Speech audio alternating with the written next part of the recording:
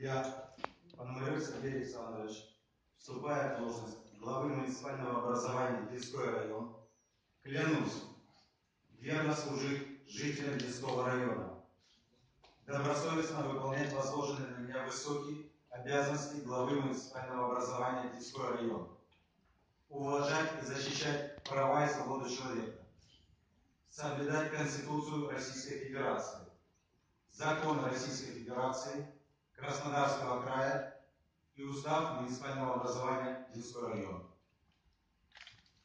Сергей Александрович Пономарев вступил в должность главы муниципального образования Одинской район.